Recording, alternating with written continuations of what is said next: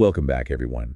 Today, we're diving deep into a group of bacteria that, well, let's just say they have a certain reputation. Oh, yeah. The Proteus, Providencia, and Morganella species. You know, they might not be the most glamorous, Definitely not the stars of the show, usually. But but they can cause some headaches. exactly. Especially in the medical microbiology lab. For sure. So we're going to walk through everything Yeah. from their key features to how we handle the infections they cause. You know, a classic clinical microbiology approach. Absolutely. Understanding their quirks. Yeah. It's essential for us in the lab. And for this deep dive, we're going to be focusing on Okay. principles and practice of clinical bacteriology. Ah, the Bible. right. I think everyone in our field knows that one. For sure. So are you ready to unlock some expert level knowledge on these bacteria? I'm ready. Let's start with the basics. Understanding these organisms. Okay, sounds good. Now, they're all part of that Proteae tribe, but each genus has some unique characteristics. All right. So first up, Proteus. I always think of them as, you know, the swarming bacteria. Oh, of course. Remember those distinctive bullseye patterns they make on agar plates? Absolutely. That swarming motility is one of their trademarks, for sure.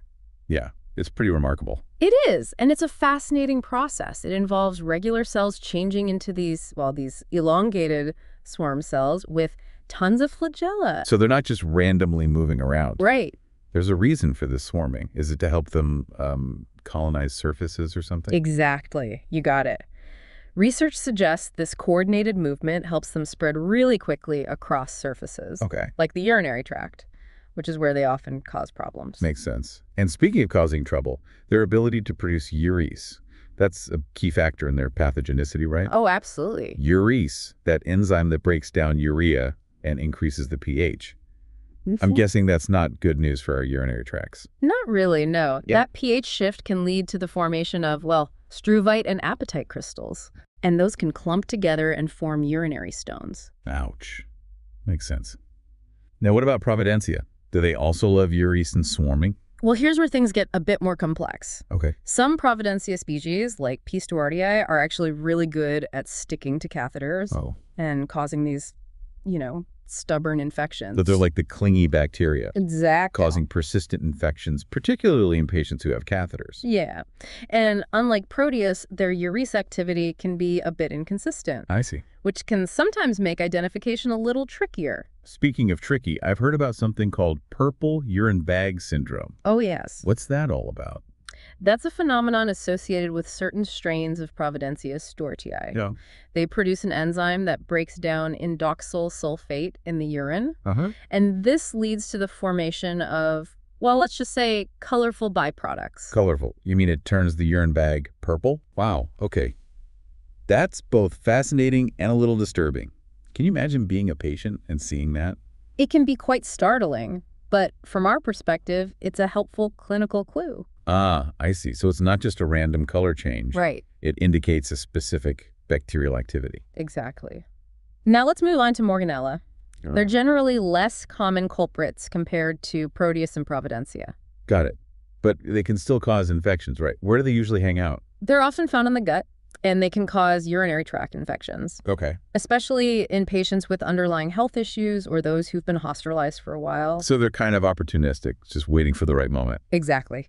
Now let's talk about how these infections actually show up clinically. Sure, sure. What are the usual symptoms?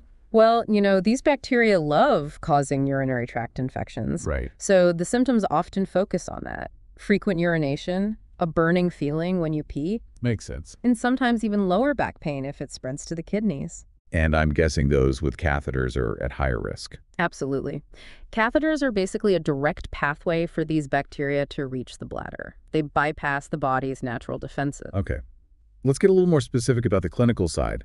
I know Proteus mirabilis is often linked to a particular urinary tract complication. Can you expand on that? You're probably thinking about pyelonephritis, an infection of the kidneys. Yes. Proteus mirabilis is particularly good at going up the urinary tract. Ooh. Thanks to those MRP fimbriae, Right.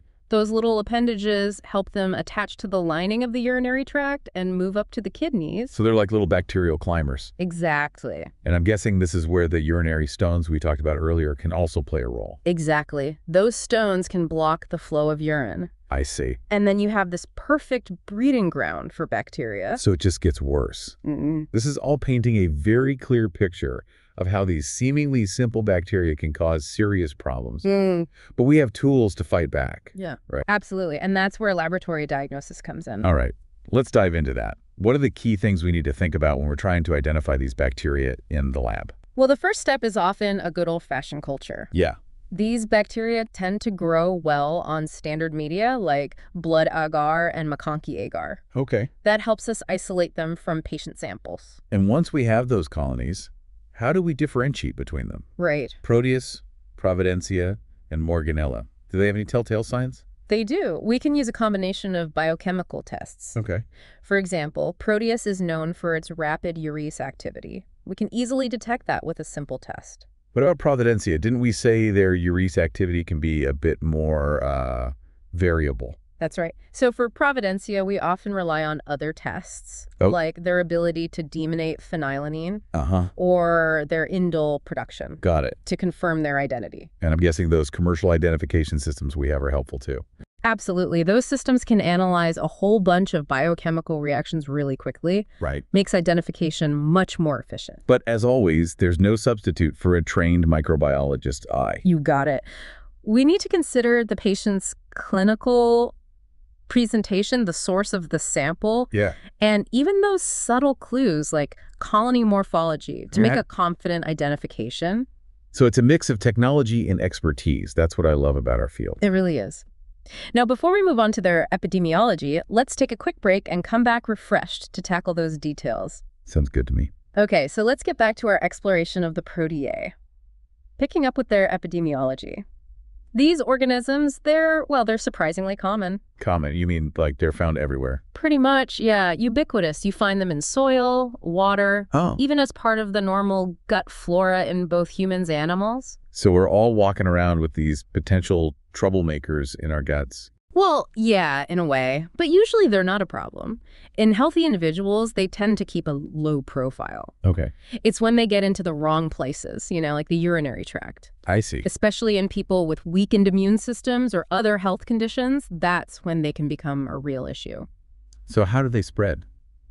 From person to person, I mean. The most common route is fecal oral transmission. Ah, right. Because they're in the gut. Exactly.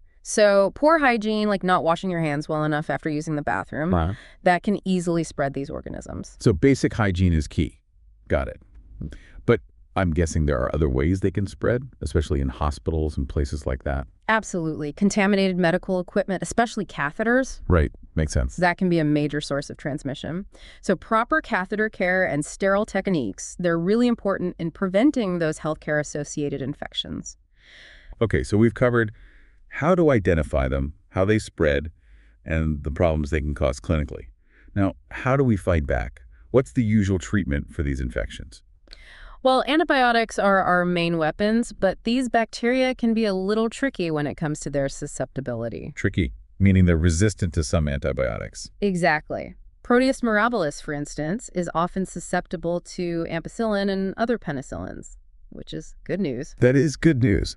But what about the other species? Are they as easy to treat with antibiotics? Not always. Providencia and Morganella, they tend to be more resistant to multiple antibiotics. Makes treatment decisions more challenging. So what do we do when we come across those multi-drug resistant strains? Well, that's when antibiotic susceptibility testing becomes really crucial. I see. We have to tailor the treatment based on the specific resistance profile of that particular strain. So it's all about choosing the right antibiotic for the right bug. But what happens if the usual antibiotics aren't working? Are there other treatment strategies we can consider? There are a few new options that are being researched. For example, bacteriophages. Bacteriophages, what are those? They're viruses that can target and destroy specific bacteria. Oh, wow. How do they work? Essentially, they infect the bacteria and then replicate inside them. Eventually, they cause the bacteria to burst open and die. So it's a very targeted approach. exactly. And it holds a lot of promise for dealing with these antibiotic-resistant infections. That's amazing. Are there any other non-antibiotic strategies being explored? There's also research on developing vaccines. Vaccines? Yeah, especially for Proteus mirabilis. That would be a game changer, especially for people who get recurrent UTIs. yeah. What's the progress on those vaccines? It's still early days, but there have been some promising results in animal studies. They're using purified Fimbriae as the target for the vaccine. So we're trying to train the immune system to recognize and fight off these bacteria before they can even cause an infection. Exactly. But it's going to take more time before we see a Proteus vaccine available for use. Well, let's hope that research continues to move forward. Now, before we get into prevention and control of these infections, I want to touch on one aspect of management that I think is really important. Okay, what is it? It's about communication, especially between the lab and the doctors. Hmm. It's not just about identifying the bacteria. We need to communicate that information effectively so they can make the best treatment decisions. You're absolutely right. We have to be clear about what species it is, the antibiotic susceptibility profile, and any other relevant details. And it goes both ways. Yes. Doctors need to give us clear clinical information like the patient's history, symptoms, anything that helps us interpret our lab findings correctly. It's all about working together, collaborating, and communicating clearly to make sure the patient gets the best possible care. I completely agree. Okay, let's move on to prevention and control strategies. What are the most important things we can do to minimize the spread of these organisms? Well, as we mentioned before, basic hygiene is crucial. Right. Hand washing. Exactly. Thorough hand washing, especially in healthcare settings, can make a big difference in reducing transmission. And proper catheter care too, right? Considering how often catheters are involved in these infections. Absolutely. Using sterile techniques when you're inserting and maintaining catheters Yeah. and limiting their use whenever possible, those are key to preventing catheter-associated UTIs. So it's all about breaking that chain of transmission, Right. Whether it's through hand hygiene or careful catheter care. Are there any other preventative measures, especially for people who are at higher risk of getting these infections? Well, for people who get UTIs frequently, there are some things they can do. Staying well hydrated, urinating often, and wiping from front to back after using the bathroom. I see. Those can help reduce the risk of bacteria getting into the urinary tract. So a combination of personal hygiene and lifestyle changes. I'm curious about probiotics. Oh, yeah. Have they been shown to help prevent these infections? There's a lot of talk about probiotics these days. There is. Mhm. And the research on using probiotics to prevent UTIs is still ongoing. Okay. But some studies suggest that certain types of lactobacilli, which are good bacteria found in the gut, right. they might actually help prevent pathogens like E. coli from colonizing the urinary tract. So it's like introducing good bacteria to fight the bad bacteria. Exactly. But we need more research to figure out which specific strains and dosages are most effective. So probiotics are still a bit of a question mark, but an interesting area to keep an eye on. Now, before we wrap up this deep dive, I think it's time to test your knowledge with some exam-style questions. Let's do it. I'm ready for the challenge. Okay, get ready. First question. Which of these species is most often linked to swarming motility on agar plates? Is it A. Providencia stuartii, B. Morganella morganii, C. Proteus mirabilis, or D. Escherichia coli? Hmm, that's a classic. I'm going to go with C. Proteus mirabilis. Those bullseye patterns are a sure sign. You got it. That swarming motility is one of their defining characteristics. Okay, question number two. Which enzyme produced by many proteae is a big player in the formation of urinary stones? A. Catalase, B. Coagulase, C. Urease, or D. Beta-lactamidase? That's an easy one. It's C. urease. The breakdown of urea by urease raises the urine pH. That creates the perfect conditions for those crystals to form. Two for two. You're on a roll. Okay, here's question three. Which of these antibiotics is Proteus mirabilis usually susceptible to? A. Vancomycin, B. Ciprofloxacin, C. Ampicillin, or D. Gentamicin? Let's see. Proteus mirabilis is generally susceptible to penicillins, so I'm going to say C. Ampicillin. Correct again. Three for three. Question number four. Which Providencia species is known for sticking to catheters and causing those persistent urinary tract infections? Is it A. Providencia rettgeri, B. Providencia alcalifaciens, C. Providencia stuartii, or D. Providencia rustigianii? That would have to be C. Providencia stuartii. Those adhesive molecules they have make them really tough to deal with. You're unstoppable. Last question to win the quiz. Which of these is not a typical way the proteae are transmitted? A. Fecal oral. B. Airborne. C. Contaminated catheters. Or D. contact with infected wounds. I'm going to rule out B, airborne. While these bacteria are found in the environment, they don't usually spread through the air. You did it. Five for five. Clearly, you've been listening closely. Now, let's take a closer look at those answers and talk about what they mean clinically. All right, let's go back and break down those quiz questions a bit more.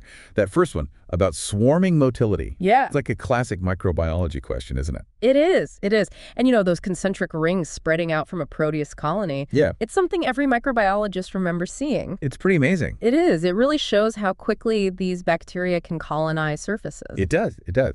Makes you appreciate their uh, efficiency, I guess, Mm. even if it's a little, well, unnerving clinically. Now, that second question about urease and its role in urinary stone formation. We often think of that with Proteus, but isn't it important for other bacteria too? That's a great point. You're right. While Proteus species are well known for their urease activity, other urinary tract pathogens like Klebsiella can also produce it Okay. and contribute to those stones forming. So it's not just a Proteus thing, but definitely something to keep in mind when we're dealing with UTIs in general. For sure. And that brings us to question three about Proteus mirabilis being susceptible to ampicillin. Right. Why is that? Why is this species often more susceptible to penicillins? Well, unlike some of its relatives, Proteus mirabilis doesn't have the genes for certain enzymes, like beta-lactamases. Uh-huh. Those enzymes break down penicillin antibiotics, Ah, I see. so it's inherently more susceptible. So in this case, less is more, Exactly. at least when it comes to being susceptible to antibiotics. yeah. Interesting. Now, question four was about Providencia stuartii and its uh, tendency to cause those stubborn catheter-associated UTIs. Yeah, those can be tough. What makes this species so challenging to deal with? Well, they're really good at sticking to catheters, for one thing. Right. But they've also developed all sorts of ways to resist antibiotics. They often carry plasmids. Those are like little circular pieces of DNA, Wow. and they contain genes that make them resistant to a bunch of different antibiotics. So they're like little resistance factories. No wonder they're so hard to get rid of.